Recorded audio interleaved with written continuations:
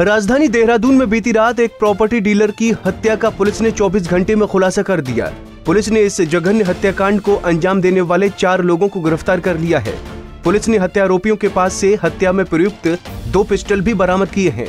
बता दें कि नेहरू कॉलोनी थाना क्षेत्र में प्रॉपर्टी डीलर राजू बक्सर उर्फ़ राजेंद्र पुंडीर की दो बदमाशों ने गोली मारकर हत्या कर दी।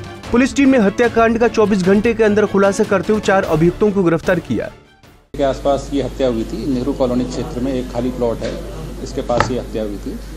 और पुलिस के द्वारा इसमें लगातार रात भर प्रयास करने के बाद ये जानकारी हुई कि इसमें जो हत्यारे थे, ये दोनों सहारनपुर के रहने वाले थे।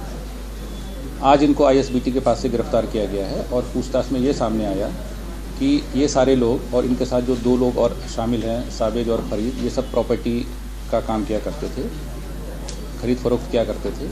और इसी बात को लेके जो साविद है और राजू बॉक्सर है, इसके बीच कुछ मतभेद थे। तो इसको दूर करने के लिए, चूँकि राजू बॉक्सर खुद भी थोड़ा सा एक फिकर टाइप का आदमी था तो उसको रास्ते से हटाने के लिए उसने विनय से कॉन्टेक्ट किया, जिसका भी अपने आप में राजू बॉक्सर से झगड़ा चल रहा था। ये विनय अपने साथ एक अनिकेत नामक आदमी को लाया सहारनपुर से, और इन दोनों ने कल शाम, चूँकि ये शराब पीने के लिए उस प्लॉट पर जाया करता था, जब ये शराब पी के बाहर निकल रहा था तो उसको उसकी हत्या कर दी। तो इस घटना में प्रयुक्त असला बरामद कर लिए गए हैं और चारों व्यक्ति गिरफ़्तार फ़िलहाल पुलिस ने इन चारों आरोपियों से पूछताछ कर आगे की कार्रवाई की जा रही है।